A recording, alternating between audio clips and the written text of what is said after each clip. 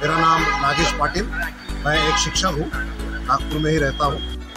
आज 2023 की पहली शाम के समय मेट्रो, नागपुर मेट्रो माची मेट्रो ने जो कार्यक्रम आयोजित किया था, फ्रीडम पार्क में, एक बहुत ही सुंदर इवेंट और जो प्रस्तुत करने वाले थे, उनके लिए मैं कहना चाहूँगा कि उन्होंने जो एक छोटा सा बीज बोया है, वो वटवृक्ष की तरह फैले, ऐसी मैं उनको बहुत बहुत शुभकामनाएँ। बहुत बहुत धन्यवाद